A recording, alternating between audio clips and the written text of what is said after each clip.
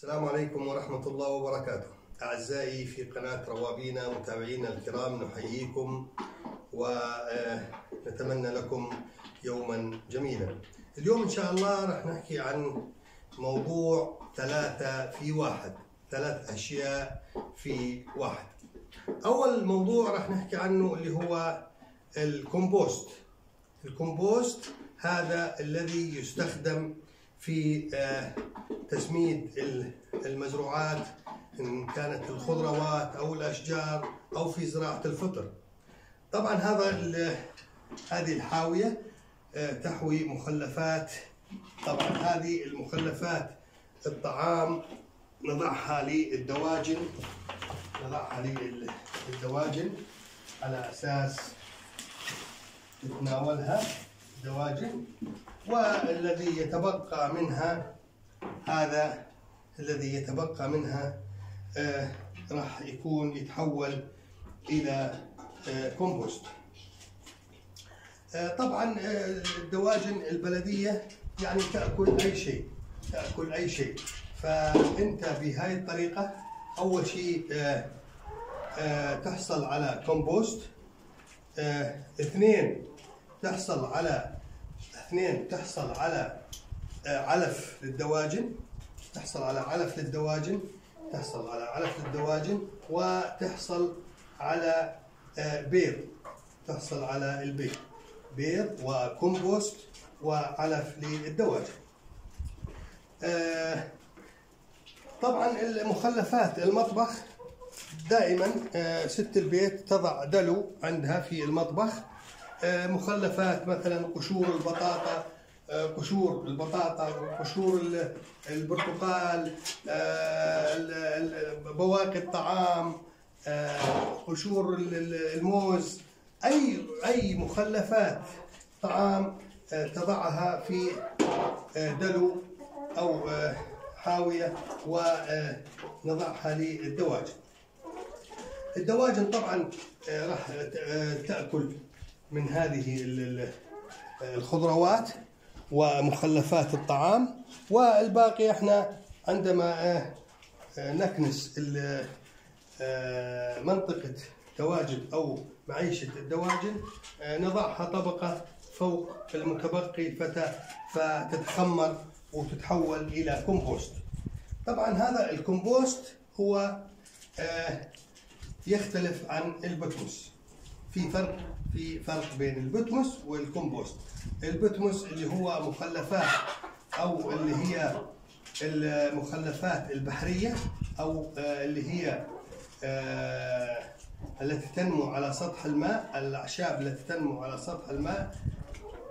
هذه آه، تسمى عندما يتم تحويلها إلى آه، تربة أو إلى سماد أو تخميرها تتحول إلى آه، آه، بتموس. والبتموس طبعا هو ليس سماد هو تربة صناعية. بينما ال compost ال compost نوعان كومبوست نباتي وكومبوست حيواني. الكومبوست النباتي من مخلفات أوراق الأشجار وبواقي الخضروات يتم تخميرها مدة من الزمن. مع ترطيبها إلى أن تتحول إلى compost وال compost هو طبعا يعتبر آه، سماد. فخليكم معنا لنهاية الفيديو. إن شاء الله راح نحكي لكم عن آه، آه، السح- الخلطة السحرية لإنتاج البيض. طبعا الدواجن البلدية أو الدجاج البلدي بفترة ال- المربعانية أو فترة الشتاء يخف إنتاج البيض. ولكن هناك في خلطة تحفز تحفز الدواجن لإنتاج البيض. راح نحكي لكم إياها في نهاية الفيديو خليكم معنا. والآن خلينا نجمع آه، البيض. هذا نجمع بيض الدواجن. طبعا هذا يعتبر من من الاكتفاء الذاتي. هذا من برنامج الاكتفاء الذاتي. عندما يكون عندك أنت آه، دواجن وعندك بيض وعندك منتجات خضرية وغيرها. طبعا هذا كل يوم إن شاء الله بيومه. هذه اللي هي آه، بيض الدواجن. والآن إن شاء الله راح نأتي إلى الخلطة اللي هي الخلطة السحرية لعلف الدواجن ولإنتاج آه، البيض بكثافة. آه، طبعا أنا في عندي هاي الخلطة. خلطة اللي هي شعير وشعير وشيء من آه، إذا كان عندك أي أنواع علف شعير أو ذرة أو آه، نخالة اللي هي الردة نضع عليها معلقتين من الشطة معلقتين من الشطة أو ما يسموها ب إحنا اللي هو الفلفل الحار. فلفل الحار. معلقتين من الفلفل الحار. ومعلقتين من الكركم.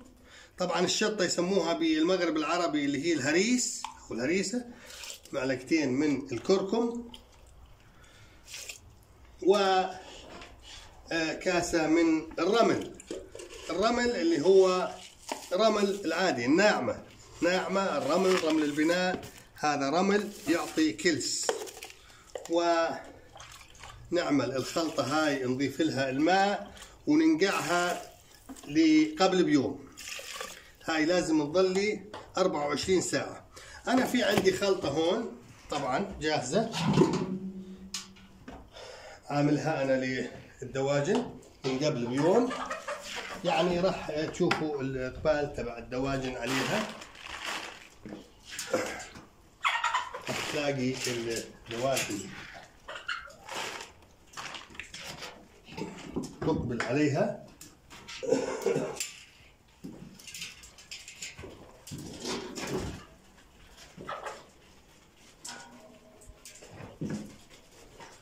وهذه طبعا فيها محفزات فيها محفزات لإنتاج البيض. فيها محفزات لإنتاج البيض. فطبعا الدواجن يعني الدواجن إحنا بنخليها بنخليها تطلع في الهواء الطلق أو تطلع تسرح في الحديقة. لكن في أيام الشتاء أو أيام البرد الشديد نحط لها الخلطة هاي ونحط لها مخلفات الطعام. ولكن في الأيام العادية هي تطلع في الحديقة لتأكل الأعشاب لأن الدواجن تأكل كل الأعشاب. كل شيء تاكله الدواجن تأكل كل الأعشاب. أعشاب وتأكل من دود الأرض وتأكل آه، آه، حتى الحصى تأكل الحصى آه، وهذا كله يعطيها كلس ويعطيها صحة. طبعا من برنامج الاكتفاء الذاتي في قناة روابينا نحييكم ونتمنى لكم وقتا سعيدا ونتمنى منكم الإعجاب بالفيديو والاشتراك بالقناة وتفعيل زر الجرس. والسلام عليكم ورحمة الله وبركاته.